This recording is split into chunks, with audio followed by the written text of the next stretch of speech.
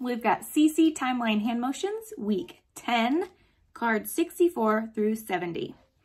We've got Japan's Heian period, we're just gonna make the shape of Japan. Japan's Heian period. Charlemagne, crowned emperor of Europe. Alfred the Great of England. We're gonna shake our own hand for England.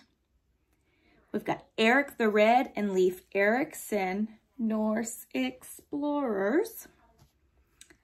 Vladimir the First, Vladimir the First of Kiev.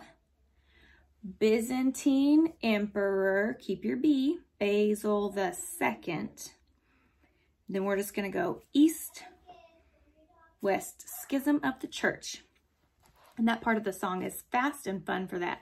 So we've got Japan's Heian period, Charlemagne crowned Emperor of Europe, Alfred the Great of England, Eric the Red and Leif Erikson, Norse explorers, Vladimir the First of Kiev, Byzantine Emperor Basil II, East-West Schism of the Church.